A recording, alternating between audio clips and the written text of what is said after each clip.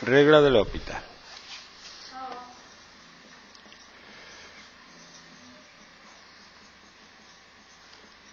La regla del hospital dice que un límite, cuando x tiende a algo, al final es lo que sea, así que voy a poner zurullo, de una función partido a otra función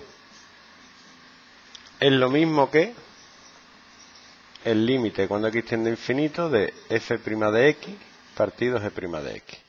Ojo, cuidado, no de la derivada de la división, sino de la división de las derivadas. Mucha gente hace la derivada de la división de las dos funciones y eso no es.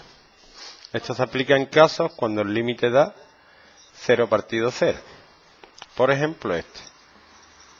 Límite cuando x tiende a 0 de elevado a x menos elevado a seno de x partido x cuadrado. Si yo sustituyo el 0 me queda e elevado a 0 que es 1 menos e elevado a seno de 0 que es 0. e elevado a 0 es 1 partido 0 al cuadrado. Me da 0 partido 0. ¿Vale? Entonces aplico el L'Hopital. Esto sería lo mismo que el límite cuando x tiende a 0 de la derivada de la función de arriba, que sería la derivada de elevado a x elevado a x menos la derivada de elevado a seno de x elevado a seno de x por la derivada del seno de x, que es el coseno de x, partido a la derivada de x cuadrado, que es 2x. Y vuelvo a sustituir 0 a ver lo que vale el límite. Esto sería 1 menos elevado a 0, 1 por coseno de 0, que es 1, partido 2 por 0, 0. Me vuelvo a dar 0 partido 0. Puedo aplicar L'Hopital hasta que me aburra. Vuelvo a derivar.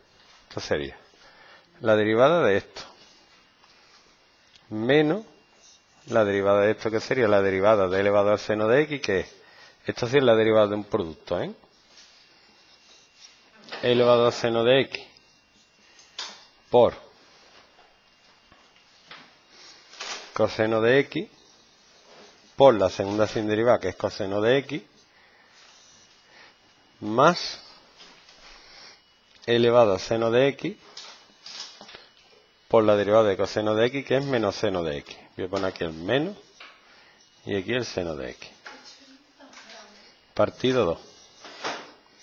Y ahora sustituir el 0 y me queda elevado a 0, 1 menos, abro corsete, elevado a 0 que es 1 por coseno de x es 1, 1 por 1 por 1 menos elevado a 0 que es 1 por 0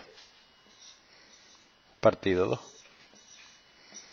esto sería 1 1 menos 1 0 0 partido 2 y esto sí se puede operar y el límite ese vale 0